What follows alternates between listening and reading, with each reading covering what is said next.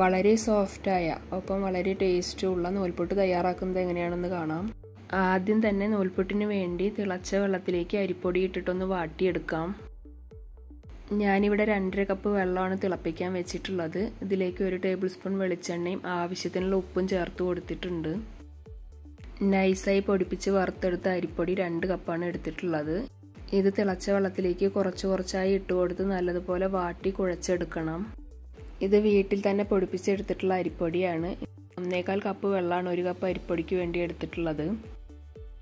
അരിപ്പൊടി കൈകൊണ്ട് കുഴച്ചെടുക്കാൻ പറ്റുന്ന ഒരു ചൂടിലേക്ക് എത്തുമ്പോൾ കൈകൊണ്ട് തന്നെ നല്ലതുപോലെ കുഴച്ചെടുക്കണം.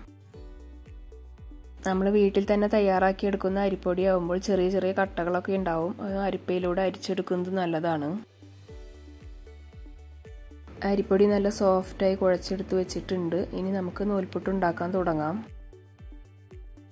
ഇതിനു വേണ്ടി നൂൽപുട്ടിന്റെ അച്ചിലേക്ക് ആദ്യം കുറച്ച് ഓയിൽ തടവി കൊടുക്കണം. അതിനുശേഷം കുഴച്ചെടുത്ത മാവ് ഇതുപോലെ നീളത്തിലാക്കി നമുക്ക് അച്ചിലേക്ക് വെച്ച് കൊടുത്തൊന്ന് പ്രസ് ചെയ്തെടുക്കാം. നമ്മളിത് ഇലയിൽ വെച്ചിട്ടാണ് ഉണ്ടാക്കുന്നത്. ഇലയിലേക്ക് ആദ്യം തന്നെ ഒരല്പം നാളികേരം ഇട്ട് കൊടുക്കാം. അതിനുശേഷം നൂൽപുട്ടിന് വേണ്ടി ഇതുപോലെ ചുറ്റിച്ചെടുക്കാം. ഇതുപോലെ കുറച്ചധികം ഇലകളിലേക്ക് നമുക്ക് ചുറ്റിച്ചെടുക്കാം. ഈ സമയത്ത് ഇഡ്ലിച്ചെമ്പിൽ വെള്ളം തിളപ്പിക്കാൻ വെച്ചിട്ടുണ്ട്. ഇഡ്ലിച്ചെമ്പിന്റെ തട്ട് വെച്ച് കൊടുത്ത് അതിലേക്ക് നമുക്ക് ഓരോ ഇലകളായിട്ട് വെച്ച് കൊടുക്കാം. രണ്ട് തട്ടിലും ഇതുപോലെ കൊള്ളാവുന്നത്ര വെച്ച് കൊടുക്കാം. മീതയ്ക്ക് മീത വെക്കേണ്ട ആവശ്യമില്ല. ഇനി ഇതിങ്ങനെ അടച്ചു വയ്ക്കാം ഒരു മീഡിയം ഫ്ലെയിമിൽ വെച്ച് പത്ത് മുതൽ പതിനഞ്ച് മിനിറ്റിനുള്ളിൽ നല്ലതുപോലെ വെന്ത് കിട്ടും. കൈയൊന്നും പൊള്ളാതെ ഇലകളെ ഓരോന്നായി പുറത്തേക്ക് എടുത്ത് വെക്കാം. ഒന്ന് ചൂടാറിയതിന് ശേഷം മാത്രം പ്ലേറ്റിലേക്ക് തട്ടിയെടുത്താൽ മതി. ഇനി ബാക്കിയുള്ള ഇലകളിലെ നൂൽപുട്ടും ഇതുപോലെ തന്നെ വേവിച്ചെടുക്കാം.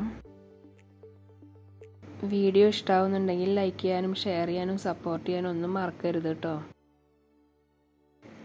വളരെ ടേസ്റ്റി ആയിട്ടുള്ള വളരെ സോഫ്റ്റ് ആയിട്ടുള്ള നൂൽപുട്ട് തയ്യാറായിട്ടുണ്ട്. മുട്ടക്കറി കൂട്ടിയിട്ടോ അല്ലെങ്കിൽ കുറുമക്കറി കൂട്ടിയിട്ടോ നാളികേരപ്പാൽ കൂട്ടിയിട്ടോ ഒക്കെ നമുക്കിത് കഴിക്കാവുന്നതാണ്. ഇനി നമുക്ക് അടുത്ത നല്ലൊരു വീഡിയോയിൽ കാണാം. Okay thank